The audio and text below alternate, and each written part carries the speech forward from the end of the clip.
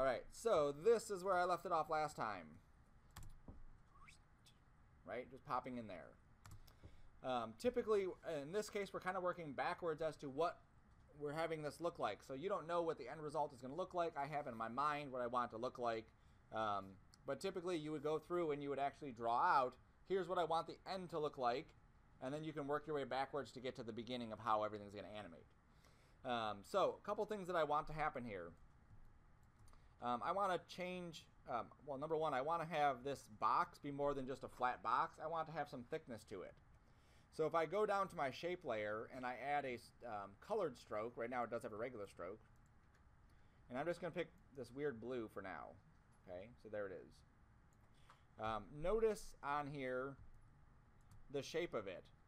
Do you see anything like weird about that? Right, it's bigger on the top and bottom. Now why would that be? The Not the mask. Something else. Nope, it's how I scaled it. Okay? So when I scaled this originally, where did I. You probably don't remember where I scaled it from because I don't remember where I scaled it from. I assume I grabbed this and I hit the S key and I scaled it from there. I did not. Where did you come from then? Um, typically, if I scaled it from here, 13, 3, 34. Yeah. Typically, if I scale it from this area, that's where it would do it, but it did not do that. Make sure I'm on the right shape. That's the shape. That's the shape. Hmm. Uh, let's go to the stroke. Stroke width. cap. Never mind. I thought that was that. All right, well, I'll look at that later. It's not a huge deal uh, because I'm going to change it anyway, but just so you can see. Um, something to pay attention to, obviously, is I don't want that to be like that because that looks weird. Um, so what I'm going to do is um, two things. One, I don't like how that looks, right, like that.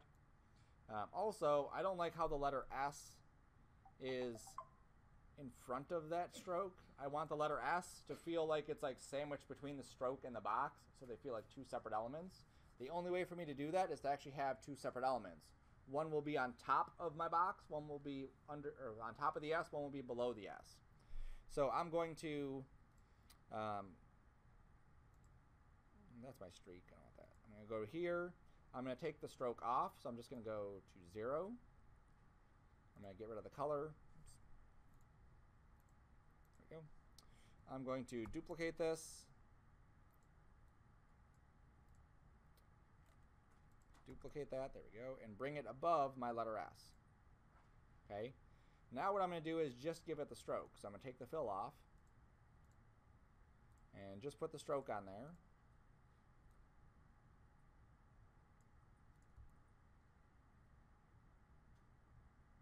It's still weird how it's like that, whatever. Um, okay. Uh, and then I can cut it. So I only need this to be here, right at, um, no I don't. I need that to animate. Right, yes. There we go. So now it animates, boom. And now as the letter S comes in,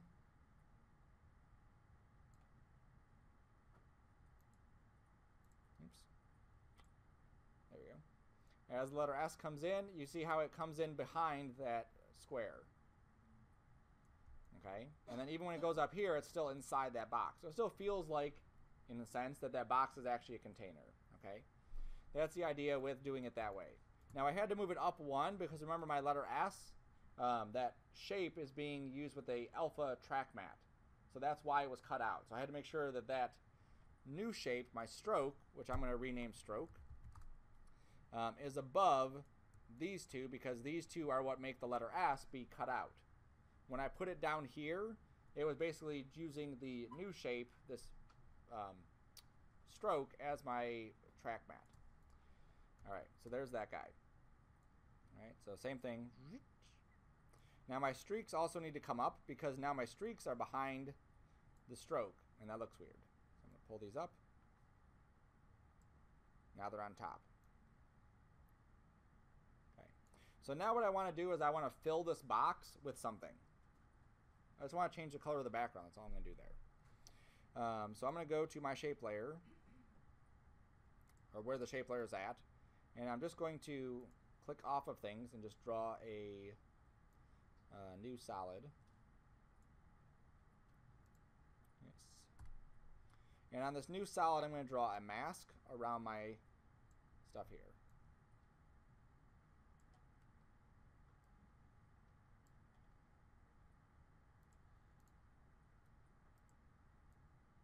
Come on. Click off. Click the mask.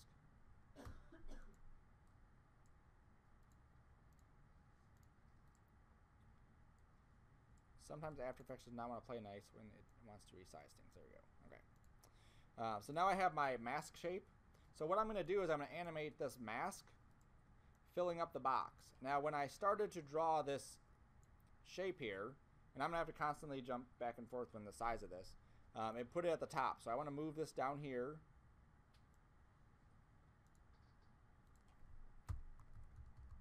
I'm going to call this my filler. And I'm going to animate that mask, okay? So I'm going to leave it filled up like this.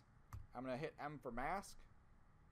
And I know that at the end I want to look like that, so it'll be, you know, at like that point.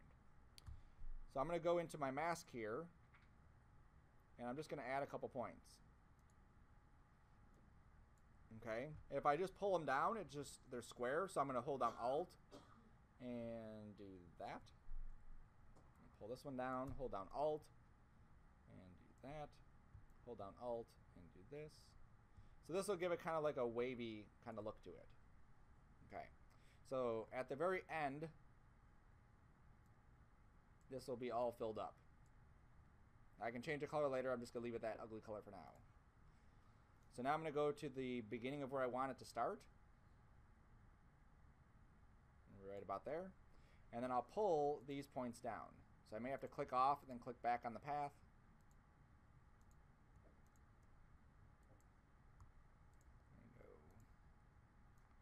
And I pull this all the way down here. Okay, so now I get this. Okay, now as that moves up, um, it's just kind of going straight up. So I may want to, in the middle of this, click off of it again. And I'm using the control key to click off so that I can then just click on the point. And I'm just going to grab that and drag it up. And I'm going to go up a little bit more. And then maybe I pull this part down and then I pull this part up. So I'm giving it kind of like a wavy kind of look. So that it feels like there's a little bit more motion to it. Make that bigger. Okay. So that's working. It's just going way too quick. So now I can just spread these keyframes out a little bit.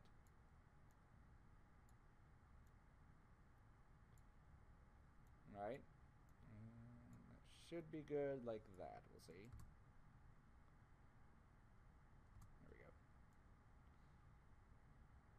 Okay. Now I can do an effect on this. If I go to distort, um, there's a whole bunch of things inside here that maybe I could play with and tweak and possibly use. Um, one of them is a wave warp. So if I go to wave warp, look at what it does. I'm going to hit the FX off and then turn it back on. It's going to basically distort what my mask looks like already. Okay, so instead of it being just like that blobby shape that I put there, this wave warp will add another level to it. And if you watch the bottom, see how it's moving? So not only does it distort it, but it also is animated. So what's cool about that is that I could take this wave speed and put it up to, let's say, 3. Um, I can take my wave width and put that down to 20. And now I have a lot more um, waves inside here. Uh, I don't need pinning. I'll put that to high quality. So now watch as this comes up. It feels more like it's filling it up because of how it is. I think the wave height is still too high. Maybe that needs to be like 5.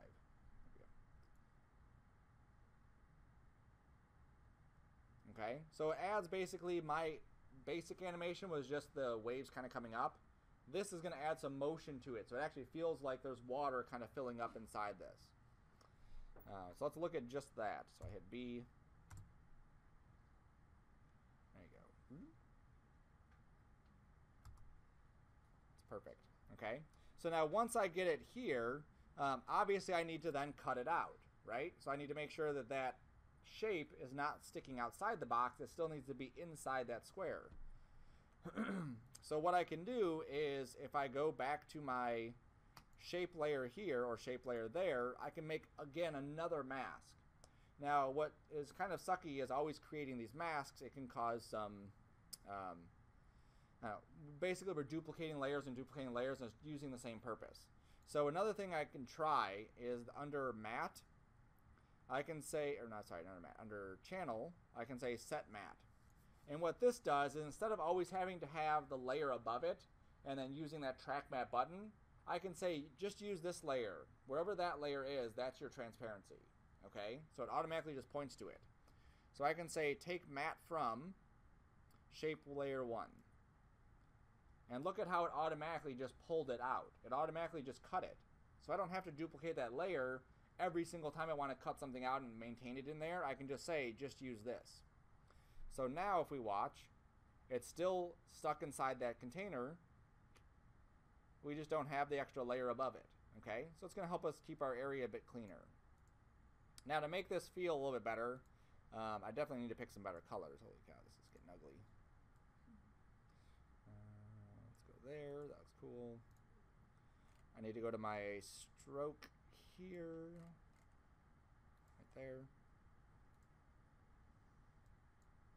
I'm just going to eyedrop this color and then go with that. And then I'm going to go to my letter S and not have that look so ugly.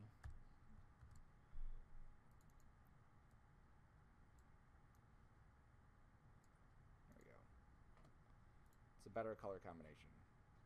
Okay, so now we have this.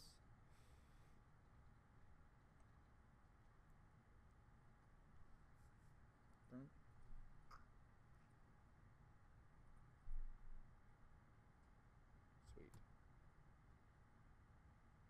Okay, so now what I want to do is I want to add something to this to give it more of an, uh, an effect that it is actually like filling up, right? So remember our circle blips that we have, these guys. I'm going to make a little bubble circle blip. That's what I'm going to do. So I'm going to go to my projects here. I'm going to organize my comps. I think 3 and 2 are just nothings. Yes. So 3 and 2 can go bye-bye. Uh, 1 is my final comp, so I should make that final. And pre-comp is this. I can get rid of that too. drop this inside there. Okay. So inside of here I have my circle blip. I'm going to drag my circle blip to this new comp button. Okay, you can see the icon. Uh, where did I move you? You can see the icon here, same icon as there. So if I drag this to here, it basically just creates a composition the exact size of that and fits it perfectly. So there is my blip. Mm-hmm. Okay. So now what I can do is just kind of scale this down. And then I'm going to duplicate it. And duplicate it And duplicate it. There we go. I'm going to offset these some. And then I'm going to change their scales as well.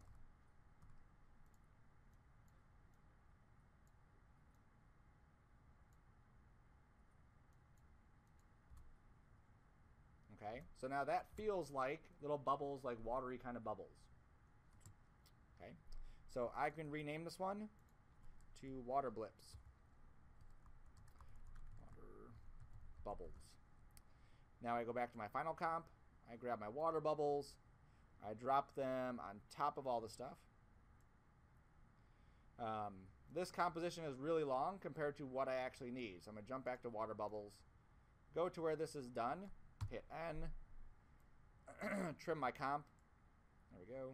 Now I go back to my final comp, and this is exactly how long it is. So I just move this to where those water bubbles are happening. They're happening here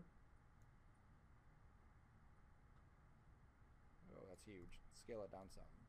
50%. Uh, 25%. There we go.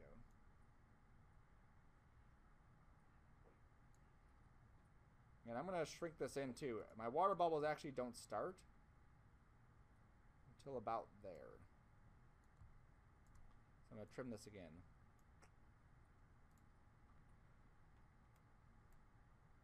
Alright, so now I'm just going to position it where I have water coming up.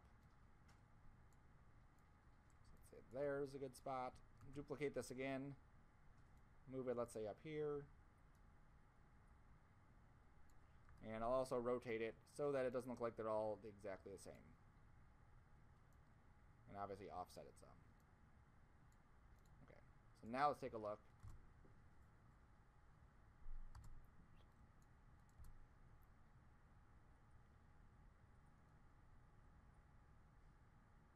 There we go. So now we've used two blips in this thing. We've used the streaks, right? And we've used that. So now what I want to do is, not touch that, um, just finish this piece up. Um, so the last things that I need for this is I need my name to come out, and then I need my assignment number and my assignment name to come out too, okay? So that's where I'm going to use some of this other stuff. So I'm going to go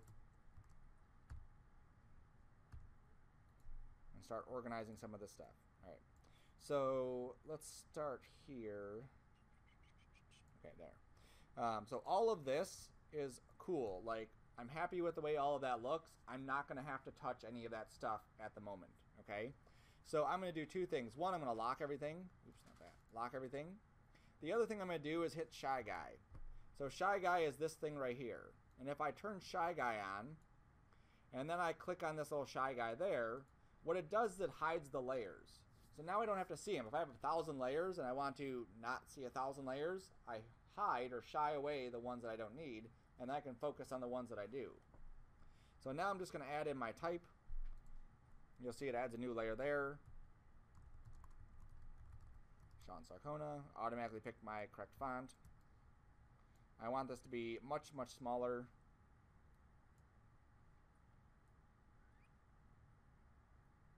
That looks good.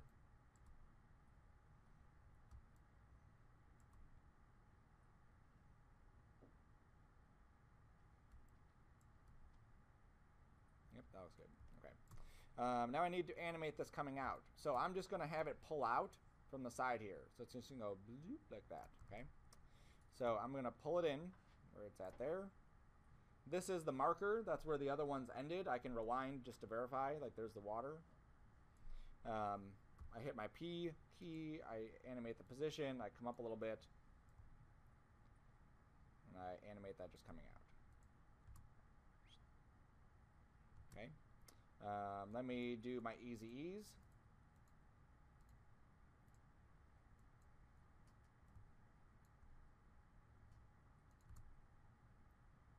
There we go, that's good. Um, and then I need to lock this off, right? So I need to have this masked out. I don't have a mask for this area, so I'm just going to draw one. Let me get rid of the stroke. No stroke.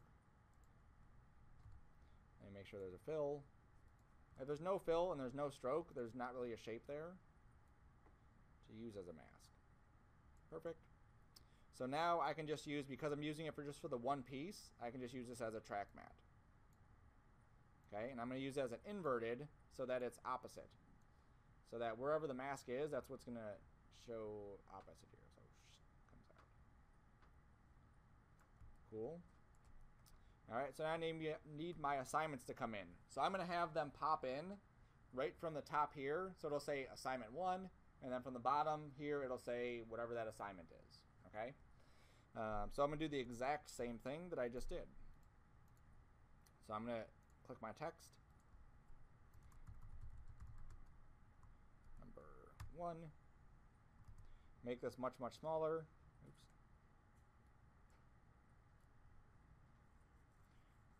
And if you do change your font, uh, don't change it to the same kind of font, right? So if this is a serif font because it has these little things on it, um, then don't pick another serif font. Or don't pick, it if you pick a blocky font, don't pick another blocky font. So I could probably go with something like that because it's a little bit more scripty than the other one.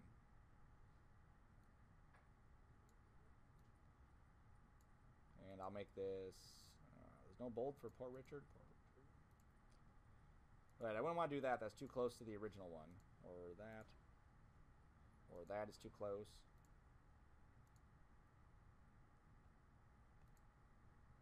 That one looks good. Okay. And I think this one does have a bold.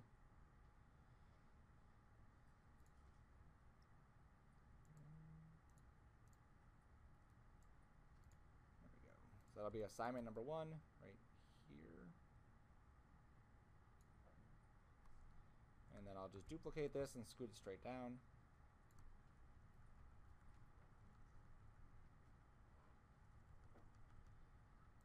And as assignment number one that we're going to do is page transitions. Okay, let's make sure you spell things right. Make sure things are enough room to fit all your stuff on there. So maybe I'll take this down to 35. This one shouldn't get any bigger. Okay, assignment one, we're not going to have assignment 574,000. So that should fit there all the time.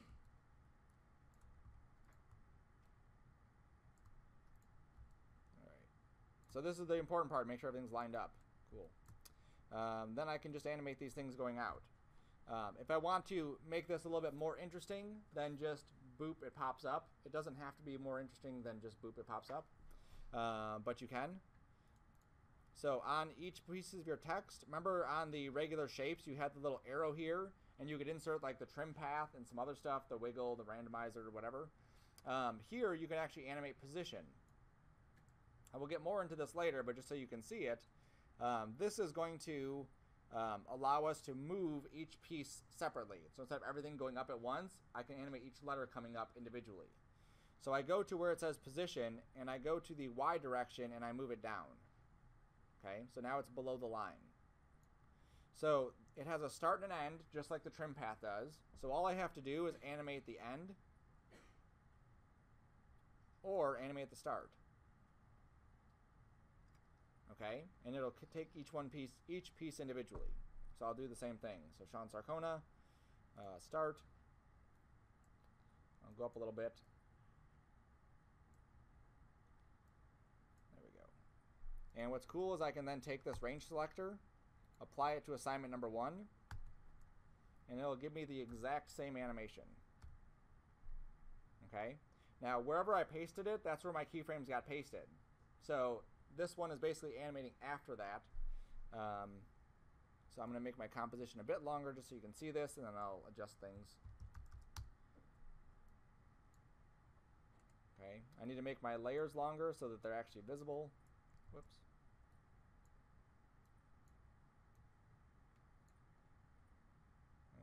To adjust the other ones. Okay, so now on this range selector, uh, it's going from here to there. Good. I just have to make sure that I go to my position on here and animate, or tell it that I want to animate the position. So I go to text, I go to animate, and I say position.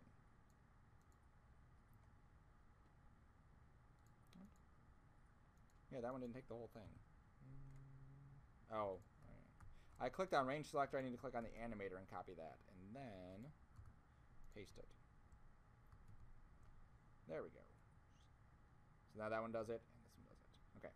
So now I need to just take that animate one and not have it go up, because I want that one to go down, and just change the position here to move it above it. There it rewind a little bit, move it above it, and now when it animates, it comes down.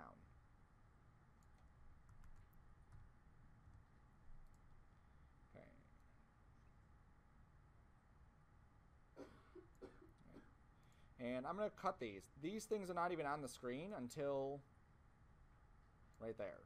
So I'm just going to bring this in right here. And then page transitions, I'm going to do the same thing. Oops, that was page transition.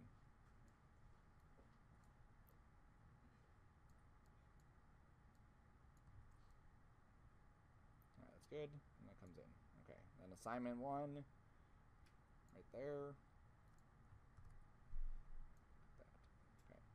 Alright, so now I just need to make the uh, same little shapes. So with this one, I can actually just make a box. Make sure everything's selected. Make a box.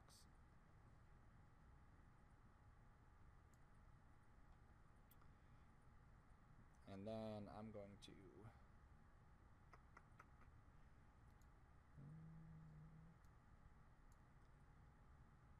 alpha matte that.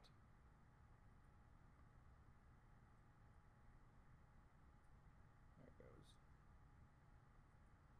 Okay. And then I can duplicate this and then bring it down to assignment one and do the same thing. Now the reason that I can't do the um, set matte, okay, before I showed the set matte one, I can't do that on this because I'm hiding the box, okay. Um, in order for that set matte thing to work, um, we have to have a visible layer. So if I drew that white box and I said set matte, it would work. But then my box has to be there. That white box has to be visible. When I hit the the uh, eyeball to hide it, it uh, will still show it. Alright, so the only thing I have to fix here is my G on the page transitions is still like off. So I'm going to actually just scoot this one. I'm going to scoot the box down some.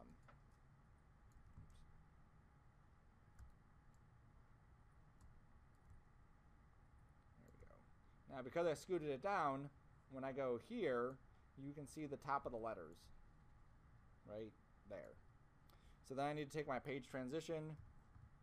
I need to take the position and scoot it down a bit further, and then they're good there. Okay, good.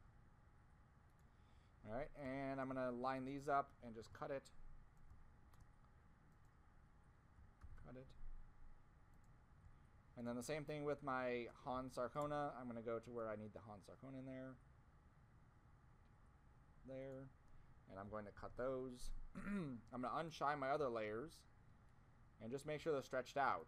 Because I increased the size of my comp, everything is gone at that point. So all of these need to be bigger. So I need to unlock them. And then I can grab all of these, stretch them out. Cool.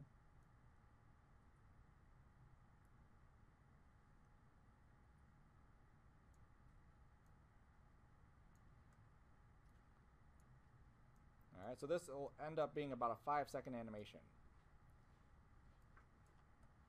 Alright, so once I have this, the last thing that I do is I typically just want to go in and just tidy it up. Um, being on a black background, I'm going to hide this uh, um, guides.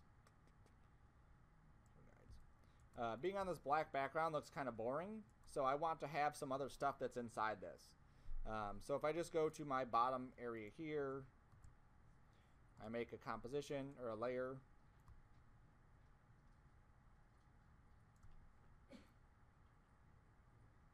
put this below everything. And then I can duplicate that layer.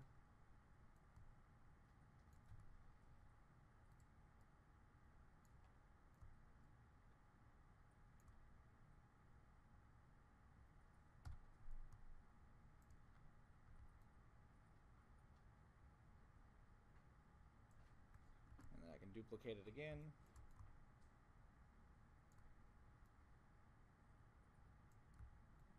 And I'm just going to give these different colors.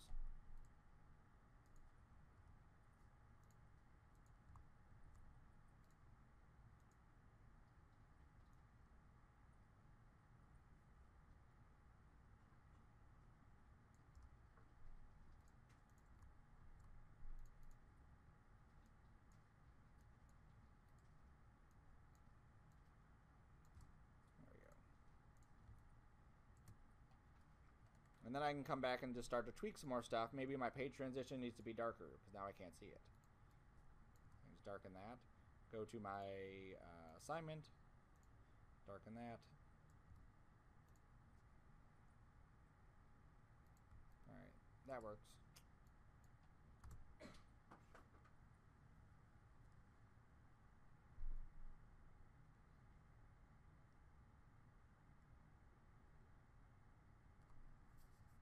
Alright, definitely not the prettiest thing, but good enough. Sweet. Um, and then my final thing that I would do is I would go into my final comp, drag this to a new comp, and then this is where I would do some color correction, adjustment type things on top of it. So I'm going to make a, a solid. I'm going to give it a dark color. I'm going to draw a circle mask on it, like that. I'm going to feather the mask big, so I open up the mask shape and feather it. And I'm also going to invert it. And then I'm also going to expand it. And then you see what I just made right there. Just I made a little vignette.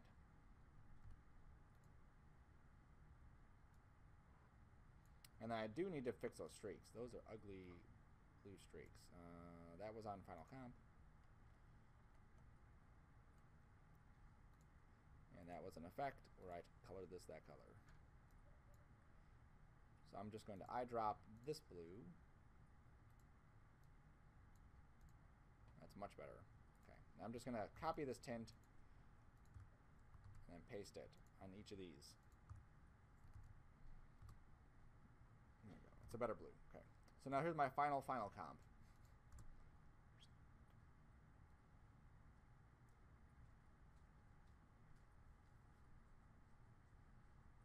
All right. So there is my, um, that's my title sequence, or my, yeah, my title sequence.